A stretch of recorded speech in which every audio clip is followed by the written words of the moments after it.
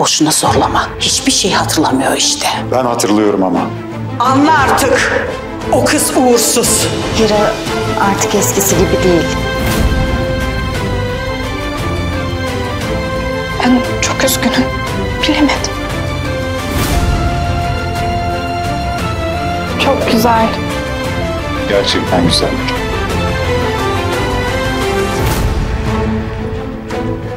Ne oluyor?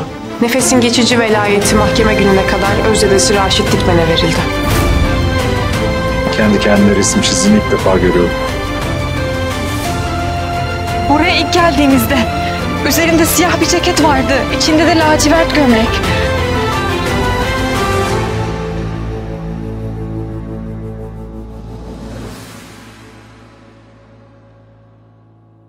Daha fazla video izlemek için kanalımıza abone olabilir, ilk izleyen olmak isterseniz bildirimleri açabilirsiniz.